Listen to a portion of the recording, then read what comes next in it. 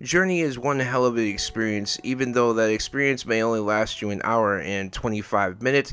At least that's how long it took me to beat the game. I think one of the biggest reasons why it is so memorable is because the soundtrack is absolutely incredible. I mean, let's face it, anybody who's played Journey, there's not a ton going on when you're playing the game.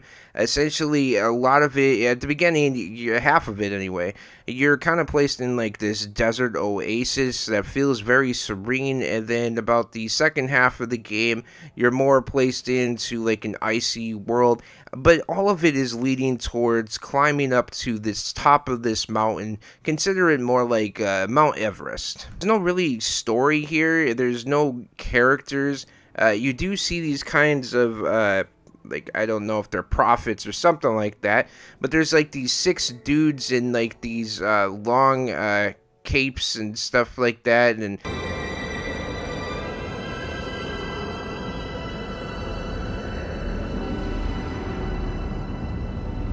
Uh, it seem they seem to be guiding you towards this mountain and trying to guide you to safety. But don't worry, you're not. You're never at risk of dying. Like these giant centipede monsters that even if they hit you, you you can't die. And I got hit by them a few times, even though they use like spotlights to try to seek you out. And then once they find you, their spotlight turns to red. And then it's at, at that point where I, the first time anyway, I thought I was going to instantly die. I thought he was going to instantly kill me. I don't think you can die in this game. I, I really don't.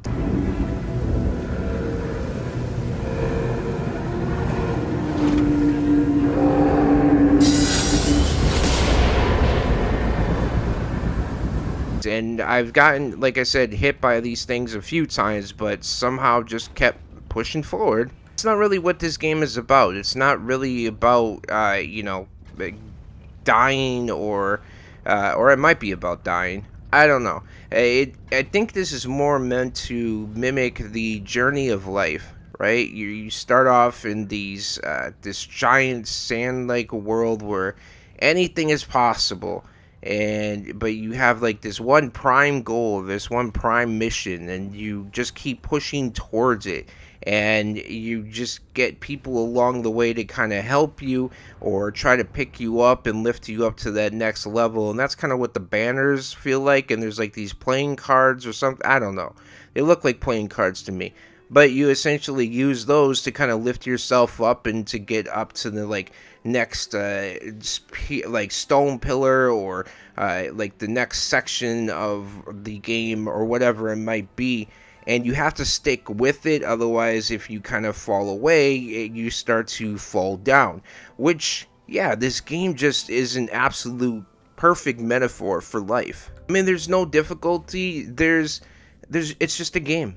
It's just a game and it's not meant to be extremely long. I think when the developers were making this and it's the same developers who made the game flower which i haven't played but i've seen clips from it it does feel a lot like what Journey feels like. All the while, uh, you can also run into other players who might be playing this game online as well, and then at the end of the game, it kind of tells you who you might have encountered along your journey. And, uh, you know, who knows? I'm sure there's people that have made, like, lifelong friends from this game alone. But the developer is called That Game Company. Yeah, I mean, it's a pretty, it's pretty dope name. Uh, but yeah, they made also outside the flower. They also made a game called Flow, and honestly, I just I'm looking forward to seeing what they do next. If Journey is anything, it's it's art. It's art in video games. This this is what I when I think of art in video games, I think of like the Art Deco style of a BioShock. But I also think about when you see a, a drawing or a painting or something like that in an art museum, and it makes you feel a certain way or you see uh, see a painting uh, maybe as as the artist wanted you to see it but somebody might see something completely different and i think that's the biggest thing with this game is everybody's gonna have a, the same or similar experience but have their own takeaways from it. I played it uh, through my PlayStation Plus membership, so the game is free with PlayStation Plus.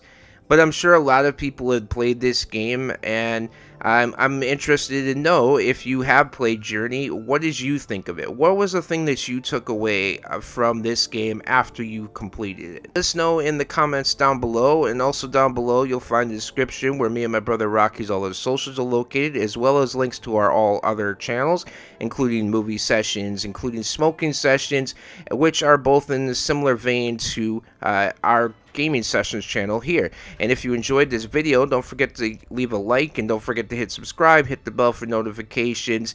And thank you so much for watching and or listening to this video. And we will see you all in next gaming sessions